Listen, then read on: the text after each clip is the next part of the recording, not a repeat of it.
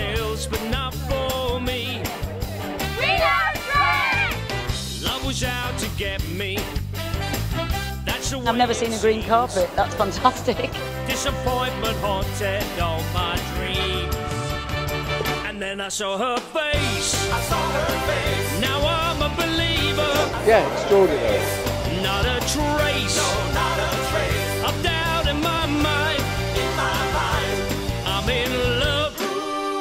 It was absolutely good time, great night out. If I tried.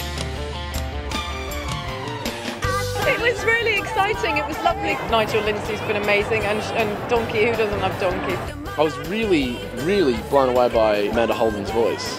Oh, it's a bit high and mighty, is it not? What's the use in trying? Tonight was really good fun. Nigel Harman obviously is very, very funny. The cast were all really good. They're great.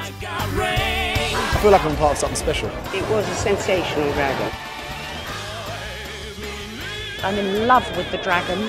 I thought the dragon was to die for. It's completely across the board. It's colourful, it's bright, it's what you expect on a West End stage.